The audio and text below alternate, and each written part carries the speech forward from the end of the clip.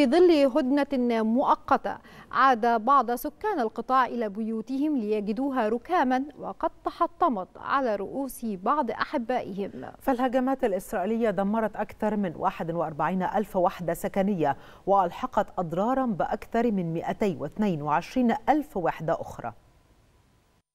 قبل السابع من أكتوبر أوضاعا مأساوية غير مسبوقة كان يعيشها أهالي قطاع غزة. كانوا يشهدون نقصا في كل شيء العلاج والطعام والمياه والكهرباء. أما الآن وبعد تعرضهم لمجازر وحشية على مدار أكثر من أربعين يوما وبدء سريان الهدنة المؤقتة عاد أهالي القطاع ليبحثوا عن أي شيء يجدونه داخل منازلهم التي هدمت. فحجم الدمار الذي لحق بالقطاع غير مسبوق الهجمات الإسرائيلية دمرت أكثر من 41 ألف وحدة سكنية وألحقت أضرارا بأكثر من 222 ألف وحدة سكنية. مكتب تنسيق الشؤون الإنسانية التابع للأمم المتحدة. أكد أيضا أن 279 من المرافق التعليمية تضررت ولم يتمكن أي من نحو 625 ألف طالب في غزة من مواصلة تعليمهم. أكثر من نصف مستشفيات غزة وما يقرب من ثلثي مراكز الرعاية الصحية الأولية خارج الخدمة وتضررت 53 سيارة إسعاف. وتلقت جميع المستشفيات في مدينة غزة وشمالها أوامر إخلاء من جيش الاحتلال الإسرائيلي. الاحتلال سعى منذ بداية عدوانه لخلق حالة معيشية غير قابلة للاستمرار. عملية هدم وتهجير قسري ونقص مواد أساسية لا تلبي إلا جزءا بسيطا من احتياجاتهم اليومية. في وقت حذرت فيه العديد من الدول من استمرار هذا الوضع المأساوي. ليس فقط داخل القطاع ولكن على دول الإقليم الذي لا يزال يئن من عدم الاستقرار الأمني والسياسي طوال السنوات الماضية. انتشلت طواقم الإسعاف عددا من جثامين الشهداء من تحت أنقاض المنازل المدمرة في حي الشجاعية شرق مدينة غزة. وقد أعلنت مصادر طبية في غزة وصول جثامين سبعة شهداء متحللين إلى مستشفى شهداء الأقصى بعد انتشالهم.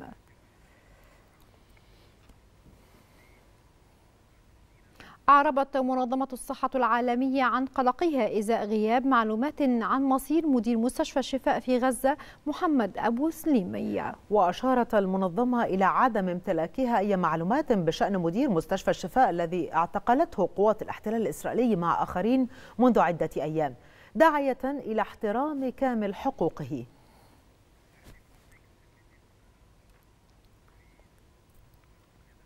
استشهد طبيب وأصيب آخران خلال مواجهات مع قوات الاحتلال الإسرائيلي جنوب مدينة جنان بالضفة الغربية المحتلة. يأتي هذا في الوقت الذي واصلت فيه قوات الاحتلال مسلسل الاعتقالات والاقتحامات بأنحاء مختلفة بالضفة.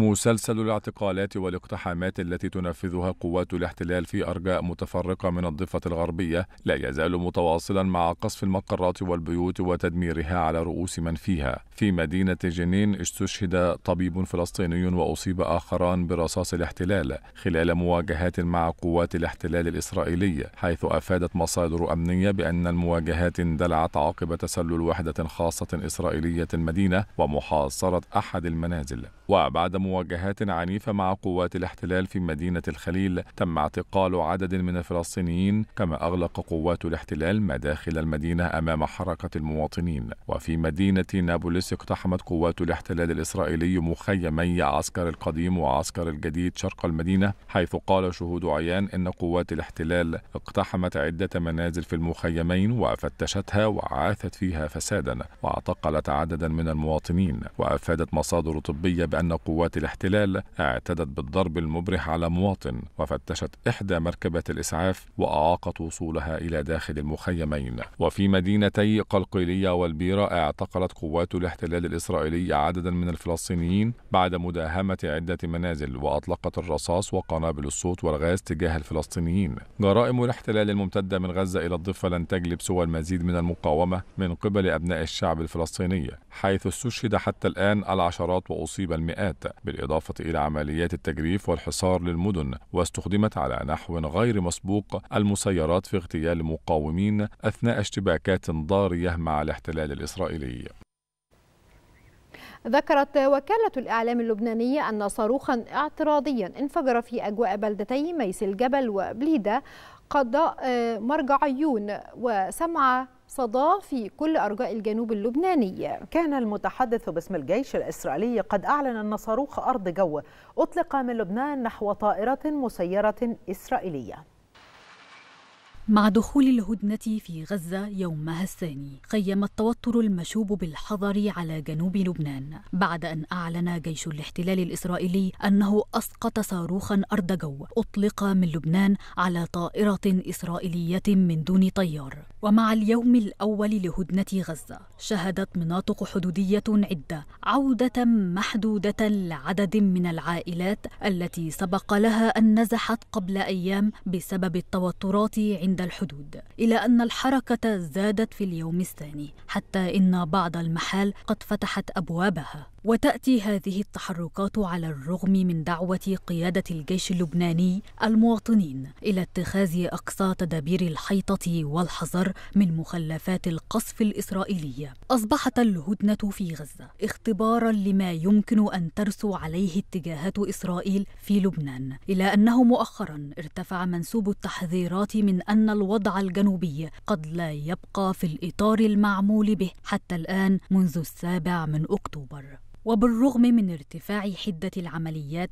خلال الأيام الماضية إلى أن ضغوطا دولية تمنع احتمال التصعيد كما رسمت خطوط حمراء حدة الاشتباكات بحيث لم يتجاوزها بالعمق أي طرف من الطرفين. كما أن مستوى العمليات المتبادلة التي حصلت منذ أكثر من شهر أشار إلى أن هناك توازنا ما بقي قائما لكنه بات مهددا أكثر من الآن فصاعدا. تعرضت سفينة حاويات مملوكة لرجل أعمال إسرائيلي لهجوم بطائرة مسيرة في المحيط الهندي. وقال مسؤول دفاعي أمريكي لوكالة أسوشيتد بريس إن السفينة التي ترفع علم مالطا يشتبه فيها أنها استهدفت أو استهدفت بطائرة مسيرة مفخخة أثناء وجودها في المياه الدولية مشيرا إلى أن الطائرة المسيرة انفجرت مما أدى إلى إلحاق أضرار بالسفينة دون إصابة أي من أفراد طاقمها.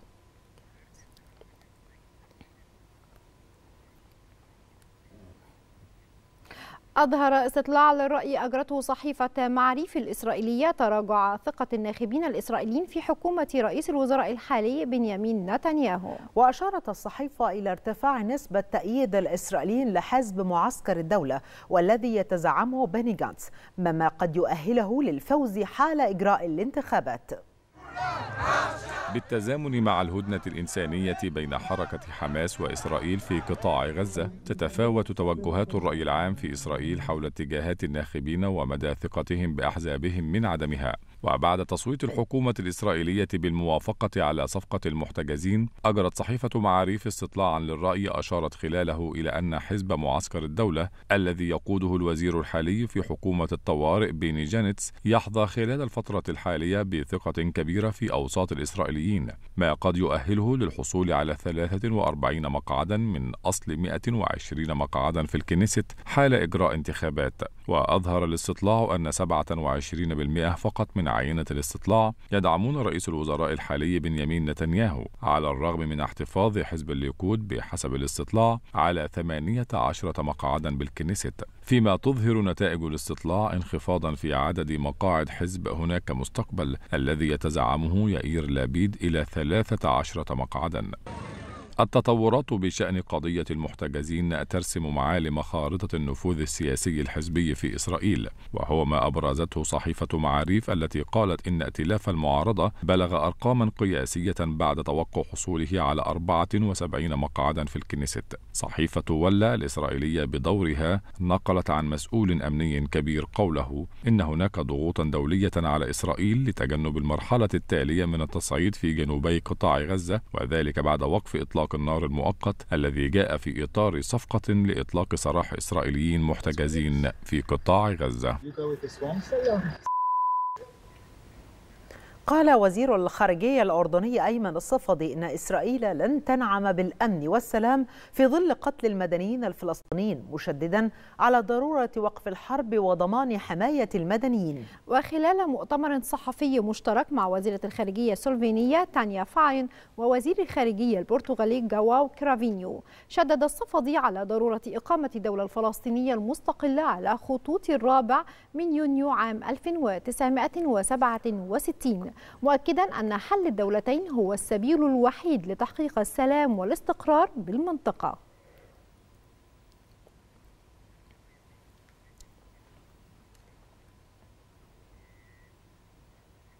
نظم متظاهرون مؤيدون لحقوق الشعب الفلسطيني مسيرات حاشدة في عدد من المناطق بالولايات المتحدة من بينها شيكاغو ولوس أنجلوس. تأتي المسيرات كجزء من احتجاجات شعبية واسعة النطاق بالتزامن مع مهرجانات التسوق في البلاد.